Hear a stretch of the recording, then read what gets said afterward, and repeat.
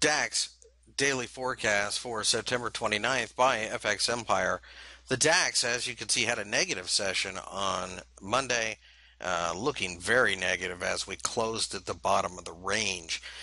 With this, we feel that uh, the market will probably continue to go lower, reaching towards 9,400. Below 9,400, we'd be sellers. We have no interest in buying at the moment, uh, but at this point in time, um, it just seems far too negative at this uh, juncture to consider buying the DAX.